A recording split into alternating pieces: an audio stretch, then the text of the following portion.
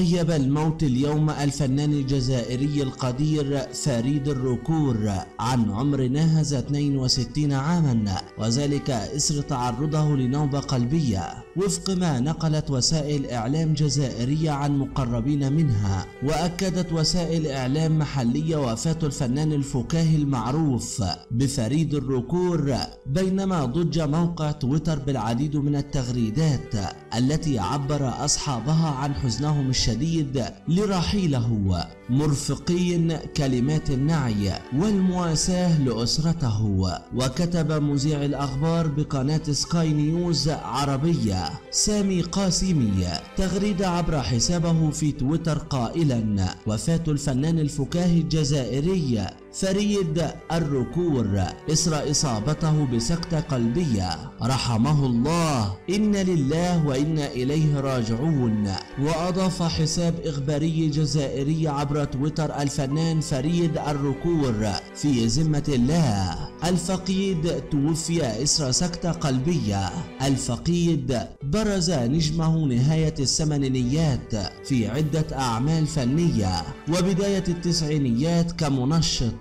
لحصة بلاد موزيك. إنا لله وإنا إليه راجعون. وعقب حساب باسم ياسين ابن المنور. قائلا وفاة الفنان الجزائري فريد الركور إثر سكتة قلبية رحمه الله ورزقه الجنة. وشارك الممثل الراحل في عدة أعمال فنية جزائرية حيث بدأ فريد الركور مشواره الفني سنة 1985 بدور في فيلم في سبيل الجزائر. وشارك في عدة سلسلات كوميدية ناجحة على غرار ناس ملاح City.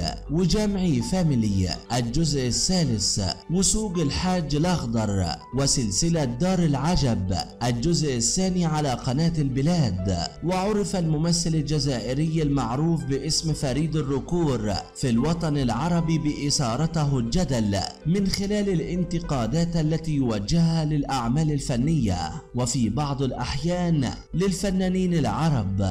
وواجه الراحل في وقت سابق عقوبة السجن لمدة ستة أشهر وتحديدا في العام 2012 عندما اعتدى على منتجة الأفلام بابن عكنون التي تقدمت بشكوى ضده بإتلاف مكتبها الخاص. لكنه برز الأمر بأنه لم يحصل على مقابل عمل فني جمعهما. وفي مقابلة تلفزيونية له قبل حوالي عام أكد الفنان فريد أن غالبية أعماله خارج الجزائر مبينا أنه بدأ عمله في الإذاعة وأشار إلى أن الكثيرين تعلموا السينما في الجزائر وتحديدا من بلاد الشمال الإفريقي.